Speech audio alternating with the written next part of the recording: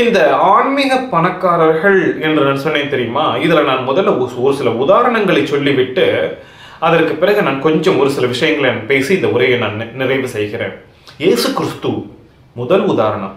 அவருக்கு எவ்வளவு சித்திகள் வந்து அமைந்தன என்று நாம் பார்ப்பதிலேயே அதனுடைய மறுபக்கத்தை நாம் பார்த்தோம் என்றால் அவர் எவ்வளவு தவம் செய்திருப்பார் அவருக்குள் எவ்வளவு துறவு நிலை வந்திருக்க வேண்டும் அந்த ஆன்மீகத்தில் அவர் உச்சத்தை தொட்டிருக்கிறார். உண்மையிலேயே இல்லாமல் இயேசு கிறிஸ்துவுக்கு அவ்வளவு சித்திகள் அந்த ஒரு மேஜிக் பவர் வந்திருக்கவே வந்திருக்காது.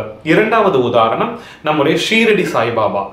இப்போ நான் அந்த இயேசு கிறிஸ்து ஷீரடி சாய்பாபா இந்த போன்ற உதாரணங்களில் எல்லாம் நான் சொல்ல வருவது என்னவென்றால் அவர்கள் இந்த பிறவியிலேயே அந்த அந்த சித்திகளை எல்லாம் அந்த சக்தியை எல்லாம் பெற்றிருப்பார்களா என்றால் அல்ல.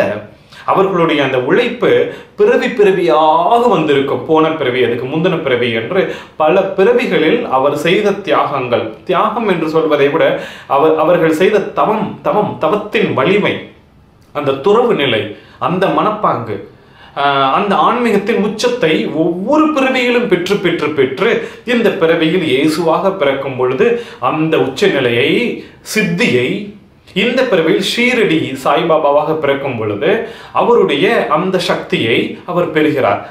மூன்றாவது உதாரணம் இது நிறைய உதாரணங்கள் சொல்லலாம். மூன்றாவது உதாரணம் லாகிரி மகாசயர்.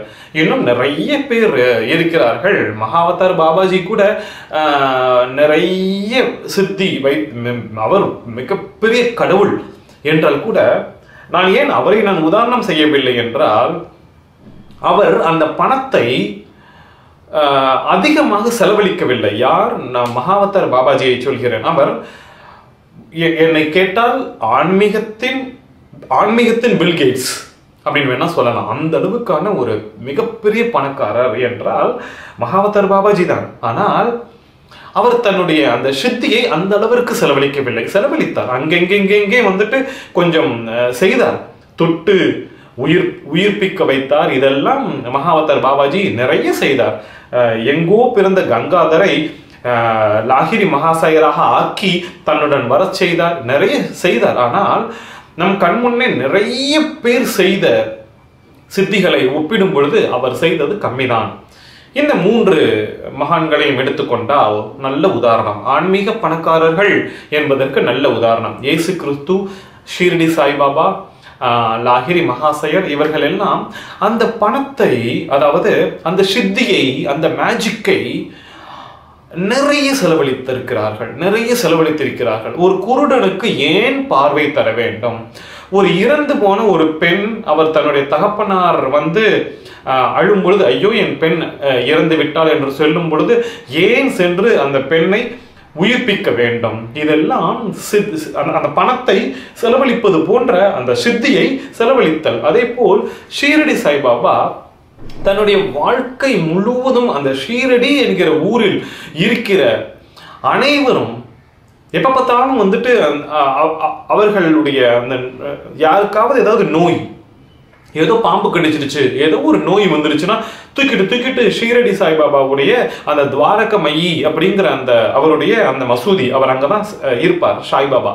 அவர் இருக்கும் அந்த தூக்கிட்டு வந்துடுவாங்க தூக்கிட்டு வந்தவுடனே அவர் தன்னுடைய சித்தியை காட்டி குணப்படுத்துகிறார் குணப்படுத்துகிறார். ஆயிரக்கணக்கான மக்களுக்கு இது போன்ற குணப்படுத்தி இருக்கிறார் குழந்தை பாக்கியம் கொடுத்திருக்கிறார் என்னென்னவெல்லாம் செய்திருக்கிறார் எனும் பொழுது தான் பிறவிகள் முழுவதும் சேமித்து வைத்த அந்த பணத்தை அதைத்தான் அந்த பணம்னு சொல்லக்கூடாது அது சித்தி. அதைத்தான் ஆன்மீக பணக்காரன் அந்த சித்தியை செலவழித்திருக்கிறார் செலவழித்திருக்கிறார். ஆனால் இந்த பதிவில் நான் என்ன சொல்ல வருகிறேன் என்றால் இந்த மெல்லிய கோடு என்று சொன்னேன் தெரியுமா? இந்த கோட்டிற்கு இந்த பக்கம் இருக்கும் உலகியல் சார்ந்த பணக்காரர்கள் ஈதல் நன்று என்பேன். இந்த கோட்டிற்கு இந்த பக்கம் இருக்கும் ஆன்மீக பணக்காரர்கள் ஈதல் நன்றல்ல என்பேன்.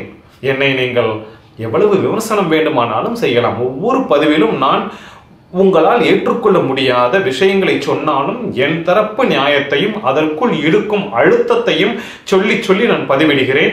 இதையெல்லாம் இந்த உலகத்தில் நிறைய பேர் சொன்னது கிடையாது என்றாலும் என் ஆன்மாவிற்குள் ஒவ்வொரு தியானத்திலும் விதையாக விழுந்த விஷயங்களை எல்லாம் சொல்லி சொல்லி பதிவிடுகிறேன். அவ்வளவுதான்.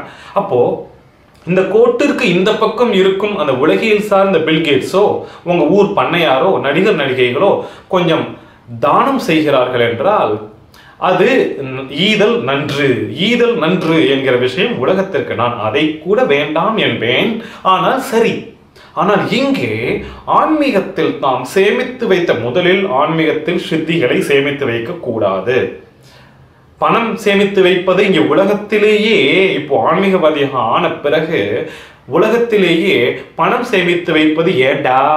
ஏண்டா பணத்தை சேமித்து வைக்கிற இவ்வளோ அப்படின்னு மனசு கேட்கும் பொழுது இங்கே ஆன்மீகத்திற்குள் தானம் தவமெல்லாம் செய்து செய்து அந்த அந்த சக்தி அந்த சித்தி என்பதை சேமித்து வைத்தல் என்பதை தவறு என்பேன் நான்.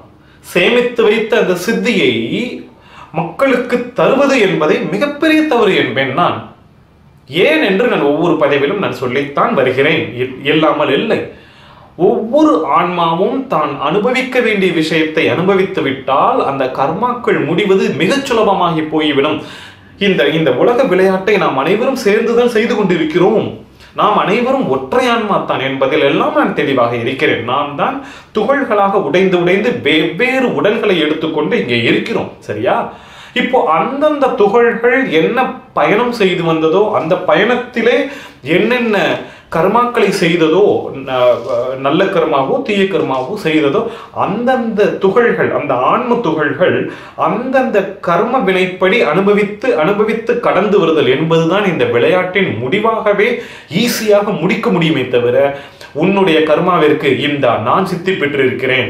அதை நான் உனக்கு தந்து உன் கர்மாவை நான் அழிக்கிறேன் உன் குருட்டுக்கண் பார்வை பெறட்டும். அல்லது உனக்கு நோய் வந்துவிட்டதா? அதை நோயை நான் தீர்த்து வைக்கிறேன் என்றெல்லாம் செய்வதெல்லாம் இந்த பணக்கார திமிர்னு இந்த உலகத்துல சொல்லுவோம்ல தப்பாக எடுத்துக்கொள்ளாதீர்கள். இதில் ஆன்மீக திமிர். தே இதெல்லாம் செய்ய வேண்டிய தேவையே கிடையாது. தேவையே கிடையாது. ஒருவேளை நான் என்ன சொல்வேன்? இந்த ஆன்மீக சித்தி பெற்றவர்கள் இந்த ஆன்மீக பணக்காரர்களுக்கு அந்த ஞானம் வரவில்லை என்று நான் சொல்வேன். எனவே